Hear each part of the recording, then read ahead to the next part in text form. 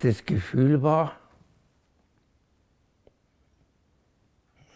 jetzt bin ich erlöst, jetzt, jetzt ist für mich der Krieg aus.